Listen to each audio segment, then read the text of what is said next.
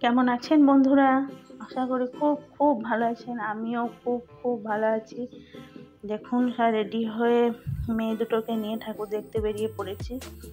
অনেক দূরে বা দূরে কোথাও নয়। আমাদের এই পাশেই যে ঠাকুরগুলো হয়েছে, একটু প্যান্ডেল, রাইট, সেগুলোই দেখতে বেরিয়ে পড়েছি। সঙ্গে তো মা কালী আছে।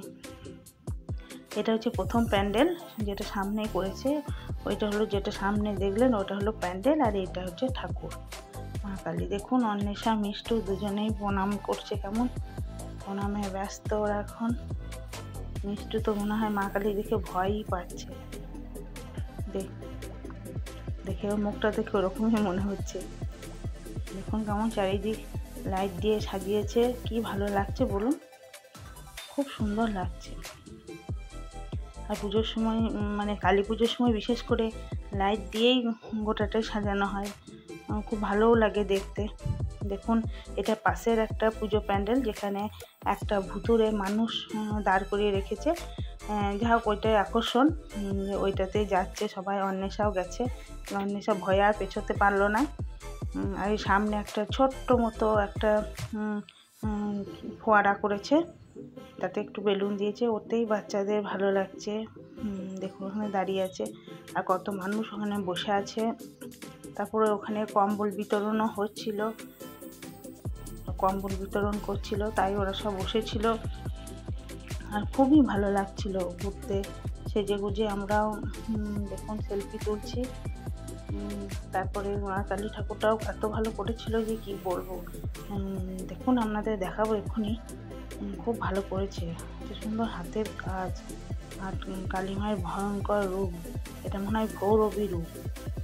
মনে হয়। দেখুন, সেজে গুজে রেডি হয়ে চলে এসেছি। কিন্তু সবই ভালো লাগছে। কিন্তু বলুন, পুজো কীরকম শেষ হয়ে গেল সে মনটা একটু খারাপও লাগছে। আবার সে আসছে বছর, এক বছর অপেক্ষা করতে হবে এই পুজোর। দিনের জন্য। আর এটা সামনে আরেকটাও একটু বাজার দিকে গিয়ে এটা এই ঠাকুরটা, এই মা কালীর বিশাল বড় মেলা বসে, আর প্রচুর লোক। আর এবং ছোটো মূর্তিতে পুজো হয়েছে, কিন্তু বড় মূর্তিটা থাকে। এটা থাকে, ওটা বিসর্জন হয় না, ওইটা বেদিতেই থাকে মায়ের। খুব সুন্দর ঠাকুর। খুব ভালো লাগছে দেখতে। এখন ওই পাশে দুটো মূর্তি আছে, এগুলো ফিক্সড থাকে। ওগুলোকে সরায় না, ওগুলো সারা বছরই থাকে। মেলাতে দেখুন, আমরা একটু বাদাম ভাজার কাছে চলে এসেছি। আমরা একটু বাদাম কিনে নিলাম মা আর বাবার জন্য। তারপর আমরা চলে এলাম রেস্টুরেন্টে একটু খাওয়া দাওয়া। একটু খাওয়া দাওয়া করব। তাই ওর ছেলেগুলো বলল, চাউমিন খাব, দেখুন ওরা খাচ্ছে। ওর বাবা মোগলাই খাবে বলে মোগলাই নিল, আর আমি একটু চাউমিন, চিকেন চাউমিন নিয়ে নিলাম, খাব।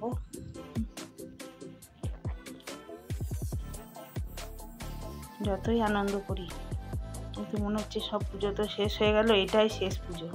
দেখুন, সব স্কুটিতে চেপেও পড়েছে, বাড়ির পথেই রওনা দিয়ে দিলাম আমরা। রাস্তার ধারে একটা জামাইবু চাট ভান্ডার আছে, ওখানে আমরা মোটামুটি ভেজিটেবল চপ কাটলেট এগুলো খাই, ওখানে মাদের জন্য নিয়ে নিলাম। আমার বাড়ির পথেই রওনা দিয়ে দেবো। যদি আমার ব্লগ আপনাদের ভালো লেগে থাকে, অবশ্যই লাইক শেয়ার কমেন্ট করবেন। কেমন লাগছে জানাবেন। আজকের ব্লগ এখানে শেষ করলাম। আবার অন্য ব্লগে দেখা হচ্ছে আপনাদের সাথে।